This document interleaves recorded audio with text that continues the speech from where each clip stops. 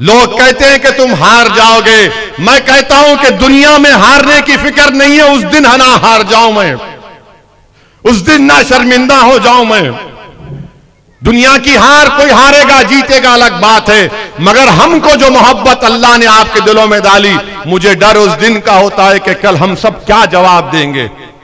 इसीलिए मेरे अज़ीज़ दोस्तों हम कोशिश करते हैं कि उस मोहब्बत का सिला सही दें। मैं हैदराबाद का ज़रूर हूँ, मगर आपका एक एक घर, एक एक दीवार पर मेरा हक है। मेरा और तुम्हारा जो रिश्ता है ना, वो खून का नहीं होगा, वो बिरादरी का नहीं होगा। मगर याद रखो, उस रिश्ते को रब्बे करीम ने बनाया है। मैं उस रिश्ते को निभाने की पूरी कोशिश कर रहा हूँ। इसीलिए मुझ पर इल्ज़ाम लगाया जाता है।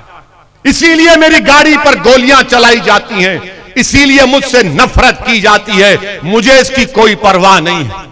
मुझे इसकी कोई परवाह नहीं। मुझे परवाह उस दिन की है जब हिसाब किताब होगा, जब राय बराबर नेकी का भी अजर दिया जाएगा और राय बराबर गुनाह का भी हिसाब लिया जाएगा। मेरी जद्दार माँ और बहनों, मेरे बुज़ुर्गों, मेरे नौजवान साथियों, एक मरतबा उठो। जब प्यार किया तो डरना क्या? मैं आपसे प्यार करता हूँ और ज़िंदगी भर करता रहूँगा। मैं आपसे प्यार और मोहब्बत इसलिए करता हूँ सबसे ज़्यादा वजह यह है कि जब वो मैदान होगा तो मुझे जवाब देना पड़ेगा कि बताओ असदुद्दीन, तुमने गरीब आवाम के दिलों में जो हमने मोहब्बत पैदा की थी, तुमने उसका क्या जवाब दूँगा मैं, मुझे उसी की फ़िक्र होती है। यकीनन मैं सियासतदान हूँ, मुझे आपके वोट की ज़रूरत है। मगर मुझे उसकी फ़िक्र होती है कि जो अल्लाह ने आपके दिलों में इस दीवाने के लिए मोहब्बत डाली, मुझे इसका जवाब देना है।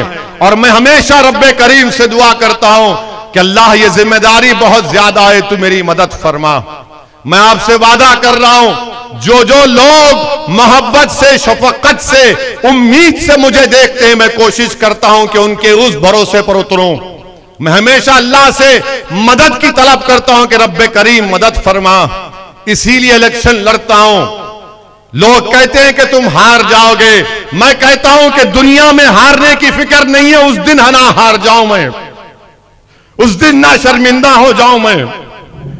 दुनिया की हार कोई हारेगा, जीतेगा अलग बात है। मगर हमको जो मोहब्बत अल्लाह ने आपके दिलों में डाली, मुझे डर उस दिन का होता है कि कल हम सब क्या जवाब देंगे। इसीलिए मेरे अज़ीज़ दोस्तों, हम कोशिश करते हैं कि उस मोहब्बत का सिला सही दें। इसीलिए हम भारत की पार्लियामेंट में अकेले खड़े होकर भाजपा के तीन सौ के सामने खुलकर सच्चाई को बयान करते हैं। भाजपा के लोग, कांग्रेस के लोग पूछते हैं कि वैसी तुझे डर नहीं होता? मैं कहता हूँ कि मुझे डर नहीं होता इंसानों से। मुझे डर होता है इंसानों के खालिक से। इसीलिए मैं सच्चाई को बयान करने की कोशिश करता हूँ।